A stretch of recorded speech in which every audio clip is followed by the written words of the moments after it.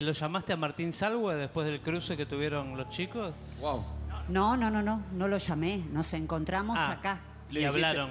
Sí, obvio. ¿Cómo no voy a hablar si lo conozco hace un montón? ¿Y le Es pusiste un- los puntos un poquito? No, no, no, no, no le puse los puntos. Le dije la realidad, le digo, Martín, ¿qué pasa? Le digo, Wow. ¿no sos vos? Eh, Yo te conozco desde otro lugar, desde que eran chicos, ¿viste?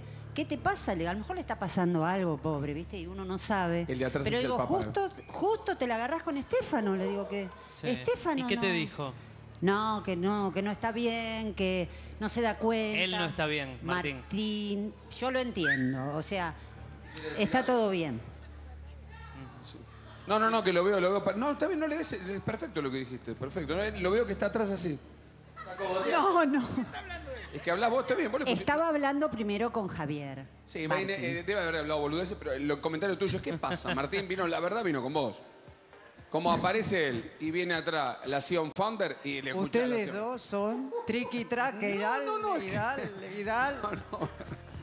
¿Pero vos lo ves distinto a Salwe? ¿Que lo conocés de chiquito? Nosotros lo No, no, no. conocimos O así sea, acá. yo cuando lo veo en la tele, Sí. sí, obviamente. Es total, no es la persona Más que infumable yo conozco, que lo que lo claro. Pero cuando lo veo acá, lo abrazo, hola, nene, todo igual. Pero bueno, Ah. es un reality.